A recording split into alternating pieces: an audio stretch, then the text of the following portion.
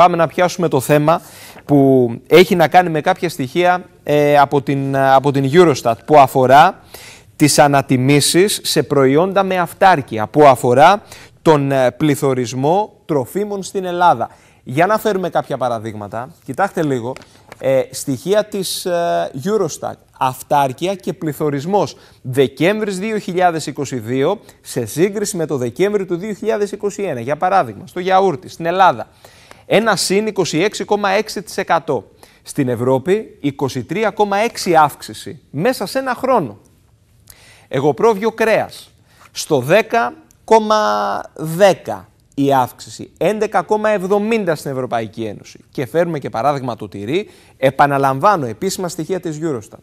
25,20, 26,90 στην Ευρωπαϊκή Ένωση. Αυτά είναι τα επίσημα στοιχεία. Και πάμε λίγο σε έναν άνθρωπο ο οποίος γνωρίζει πάρα πολύ καλά την αγορά της Κρήτης, καθώς είναι μέλος του ΔΣ του Εμπορικού Συλλόγου Ρεθύμνου και βέβαια αντιπρόεδρος της Ομοσπονδίας Εμπορικών Συλλόγων Κρήτης. Είναι ο κύριος Πολιουδάκης, ο Γιώργος. Την καλησπέρα μας. Καλησπέρα από το Ρέθμινο.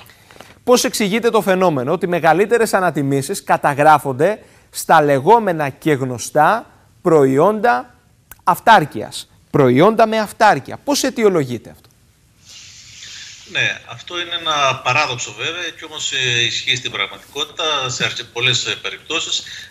Είναι το μεσολαβούν από τον παραγωγό μέχρι τον τελικό καταναλωτή είναι το ότι μεσολαβούν πολλοί μεσάζοντες ε, έμποροι ο παραγωγός θα το δώσει στον ένα έμπορο. Ο έμπορο στο χονδρέμπορο, ο χονδρέμπορο στον ολιανέμπορο. Μέχρι να φτάσει λοιπόν στον τελικό καταναλωτή το προϊόν, έχει αλλάξει 4, 5, 6 αναλόγως πόσα χέρια αλλάζει, με αποτέλεσμα το, στο κάθε χέρι να ανεβαίνει η τιμή, ε, να παίρνει ο, ο τελικός καταναλωτής να το αγοράζει πολύ πιο ακριβά από ό,τι θα έπρεπε να το αγοράσει. Πόσο έντονο είναι το κομμάτι. Ακριβώς, ολοκληρώστε κύριε Πολιουδάκη, σας έχω. Ναι, ενώ σε κάποια, σε κάποια ναι. είδη τα οποία είναι εισαγόμενα, υπάρχει ένας εισαγωγέας από το εξωτερικό στην Ελλάδα και το δίνει στον έμπορο. Με αποτέλεσμα αυτό να είναι ένα στάνταρ να μην ανεβαίνει πάρα πολύ η τιμή και να έχουμε αυτό το παράδοξο άλλα προϊόντα που έρχονται από το εξωτερικό να είναι πιο φτηνά από ότι είναι τα εγχώρια προϊόντα τα οποία παράγονται στην Ελλάδα. Και παρατηρούμε, βασιζόμαστε στη Eurostat πάντα. Δεν είναι δικά μας στοιχεία, δεν είναι δικές μας εκτιμήσεις. Ότι αυτές οι ανατιμήσεις και η ακρίβεια έχει επηρεάσει την Ελλάδα πολύ περισσότερο από άλλες χώρες του Ευρωπαϊκού Νότου.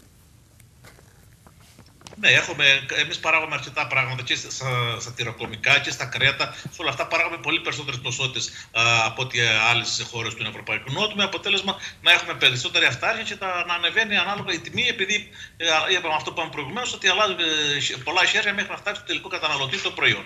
Μάλιστα. Είναι το δυστυχώς ένα αποτέλεσμα το οποίο πρέπει να δούμε πώς θα, πώς θα εξαλειφθεί, γιατί ο καταναλωτής στην εποχή που ζούμε, με τις μεγάλες ανατιμήσεις, με το ενεργειακό πρόβλημα, με, τις, ε, με το μεγάλο πληθωρισμό, το ε, διαθέσιμο εισόδημα του καταναλωτή όσο πάει και μειώνεται αντί για να αυξάνεται, να με αποτέλεσμα να μην έχει τη δυνατότητα να κάνει τα ψώνια που θα έπρεπε να κάνει. Θα ήθελα και ένα σχόλιο αναφορικά με τις ανατιμήσεις στο λιανεμπόριο. Λιανεμπόριο που αφορά η διένδυση και υπόδησης. Μπορεί να διανύουμε βέβαια ε, περίοδο εκτόσεων. Ωστόσο, θέλω να αναφερθούμε λίγο στο 2022 στο σύνολό του. Οι τιμές, οι τιμές αυξήθηκαν.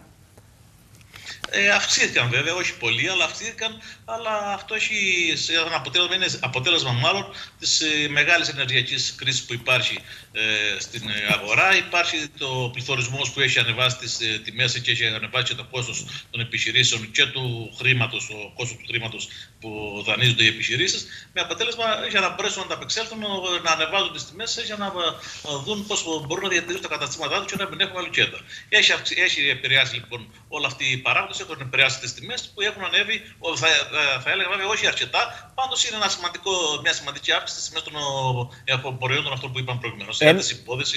Ένα γρήγορο σχόλιο θέλω κύριε Πολιουδάκη για να κλείσουμε. Πώς κυλούν ε, οι εκτόσει. Ε, διανύσαμε τη δεύτερη εβδομάδα, 15-20 μέρες. Το πρόσημο πώς είναι; Ε, δεν θα έλεγα ότι πηγαίνουν καλά. Ξέρουμε ότι ο Γενάρης είναι ο πιο νεκρός ο μήνας της ε, χρονιάς. Ε, βγήκαμε από τις γιορτές που είχαν κάνει κάποια ψώνια οι καταναλωτές. Ε, ε, τις πρώτες μέρες των εκτόσεων κάτι έγινε. Τώρα έχει, υπάρχει μια στασιμότητα, μια πτώση θα έλεγα σε σχέση με πέρυσι. Ε, θέλω να πιστεύω ότι μέχρι το τέλος του. Τώρα που αύριο ξεκινάει ο καινούριο μήνας και θα είναι όλος ο Φεβρουάριος μέχρι τις 28 του μήνα που θα είναι εκτόσεις, κάτι θα γίνει. Ε, γιατί και οι καταστηματάρχε θα, θα αυξήσουν τα ποσοστά των εκτόσεων και να με ε, αποτέλεσμα να δελεάσουν περισσότερους καταναλωτές για να ψωνίσουν. Μάλιστα. Την καλησπέρα μας, κύριε Πολιουδάκη, ευχαριστώ θερμά. Να είστε καλά.